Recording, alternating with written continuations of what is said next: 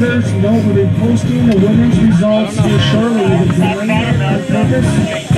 We've been trying to get a better read as to average time and try to maximize the number of skiers the second run. We're going to make that determination